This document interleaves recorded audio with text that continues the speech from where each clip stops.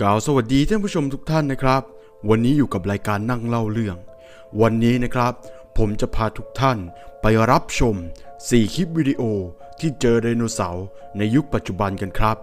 ก่อนที่เรานะครับจะไปเริ่มคลิปกัน ฝากกดไลค์กดติดตามให้กับนั่งเล่าเรื่องด้วยนะครับ จะได้ไม่พลาดคลิปวิดีโอใหม่ ๆ แบบนี้อีกนะครับ ถ้าทุกท่านพร้อมกันแล้ว เราไปเริ่มกันเลยครับ คลิปแรก Laughter คลิปวิดีโอนี้นะครับเกิดขึ้น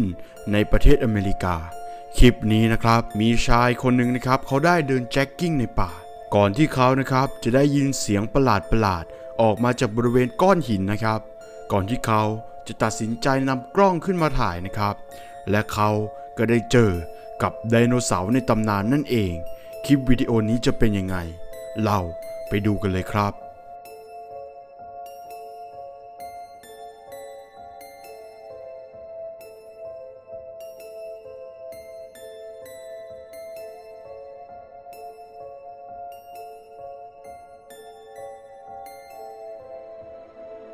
แมมมอส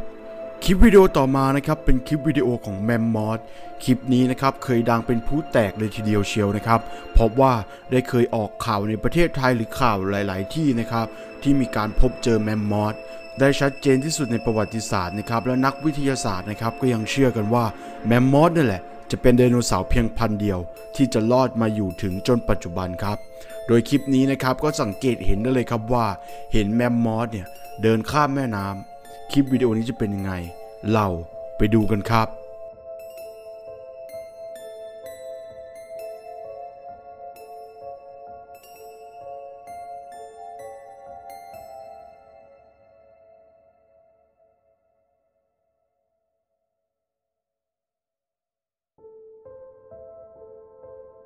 คลิปวิดีโอต่อมาคลิปวิดีโอที่ 3 ก็ยังอยู่กับแรปเตอร์นะครับ โดยคลิปนี้นะครับถ่ายได้โดย กล้องอินฟราเรดนะครับ คือกล้องที่เขาเอาไว้ติดตามป่าเวลากลางคืนสังเกตพฤติกรรมของสัตว์นะครับ โดยที่เขาได้ติดเอาไว้ โดยที่มุมขวานะครับ มุมขวาล่างเขาได้บอกวัน และเวลานะครับ โดยปีเนี่ยอยู่ในปี 2007 ครับ เขาก็ได้ตั้งกล้องอินฟราเรดเอาไว้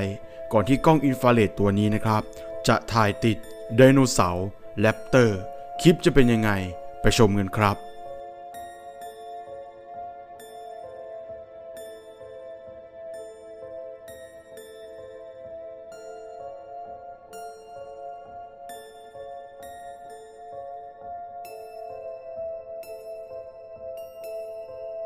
คลิปวิดีโอสุดท้ายเทอโรซอร์เทอโรซอร์นะครับก็คือไดโนเสาร์บินที่เรารู้จักกันนั่นเองครับ และนี่เป็น footage หรือคลิปวิดีโอ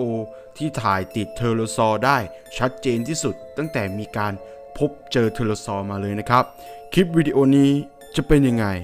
เราไปดูกันครับ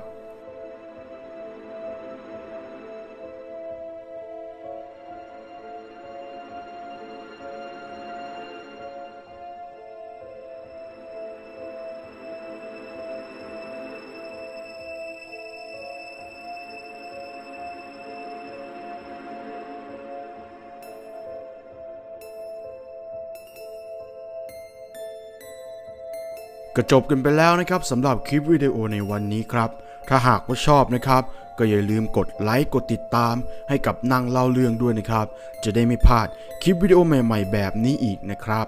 ไว้เจอกันใหม่ในคลิปวิดีโอหน้านะครับสำหรับวันนี้ขอจบคลิปไว้แต่เพียงเท่านี้